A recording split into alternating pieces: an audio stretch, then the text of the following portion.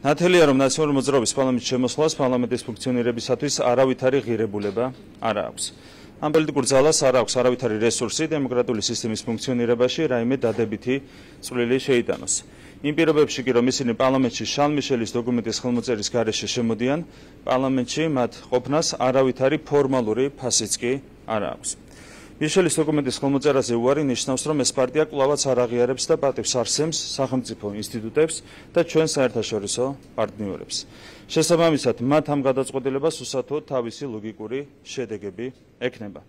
უპირველეს ყოვლისა, თუ ნაციონალური მოძრაობა მიშელის დოკუმენტის გონივრულ ვადაში არ მოაწერს ხელს, ისინი მონაწილეობას ვერ მიიღებენ ვერც ერთი სამუშაო ჯგუფის მუშაობაში, რომელიც მიშელის დოკუმენტით გათვალისწინებული გადაწყვეტილებების მოსამზადებლად არის შექმნილი ან მომავალში შეიქმნება.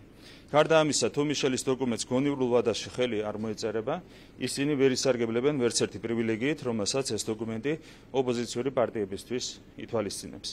დარწმუნებული ვართ, ნაციონალურ მოძრაობას საბოლოოდ ამ შემთხვევაშიც მოუწევს უკან დახევა და მიშელის დოკუმენტზე ხელის მოწერა. დიდი მადლობა.